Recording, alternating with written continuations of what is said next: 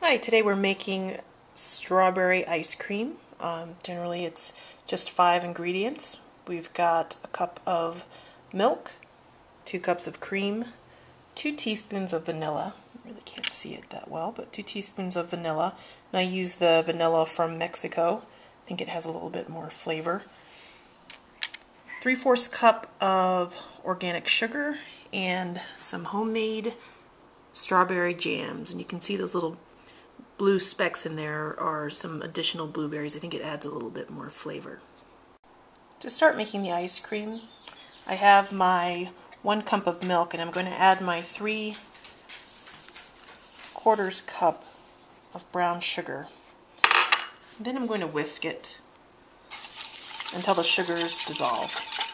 That's going to be probably about one to two minutes. So I've been mixing for about one minute and I'm tilting the bowl here so you can see that it looks like the sugar's pretty well incorporated. Um, you don't see any sediment sitting at the bottom of the bowl. I'm going to hold it up to the light here. Okay, so now I'm going to add the vanilla, it's two teaspoons, and then also incorporate very cold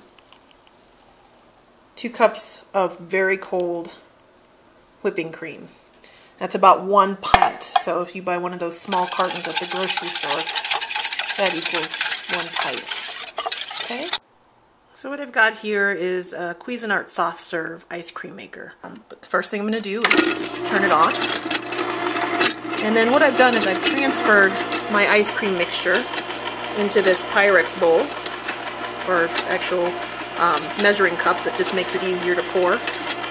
And I will slowly add the mixture into the machine.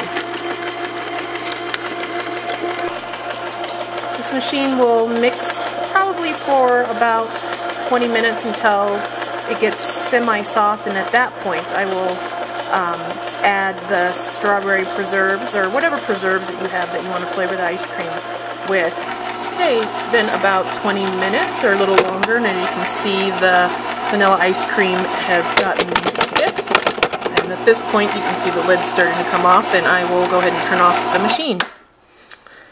I will take out the paddle. Ugh, it's really stuck in there. Take out the paddle, and you can see how stiff and firm um, that vanilla ice cream has gotten. Okay, now I'm going to transfer it to a bowl and gradually add in the strawberry preserves. Okay, so now I have about a third of a cup of preserves and I'm going to slowly add the preserves into the ice cream.